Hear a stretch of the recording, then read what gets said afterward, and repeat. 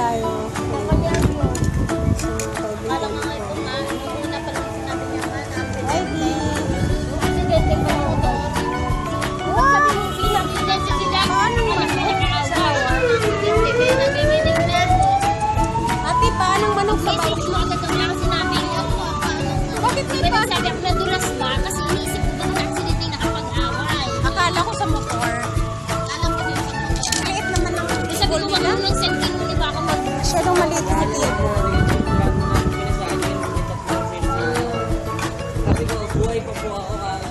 Nadulas ko. Siyempre, nag-alala sa puso ba? Siyempre, asawa mo yun eh. Asawa niya, te.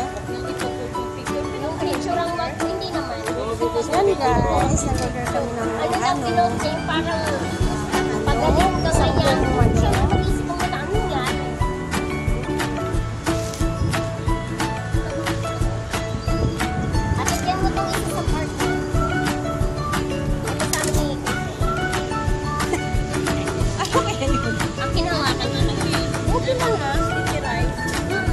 Ah, sticky rice. Rice. Ito yung dot-dotan yung may matamis.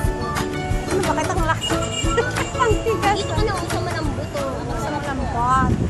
Thank you. Marunong mag-chopstick. Ay! Marunong pero Iba nga yung ano ko ngayon. Siguro nagutom ako. Wala kasi.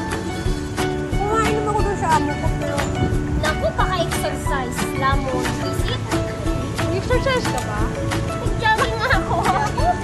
Grabe ako sa ano.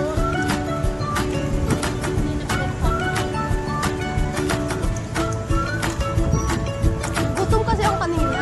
Tinamad naman ako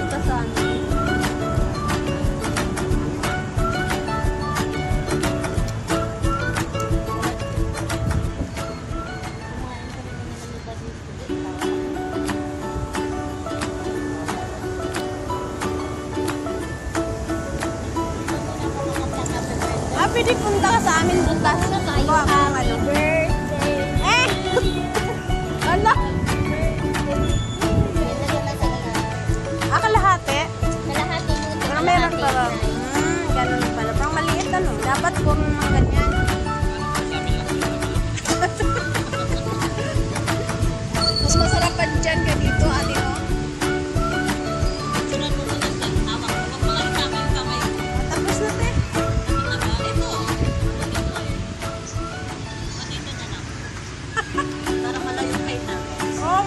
100 dogs.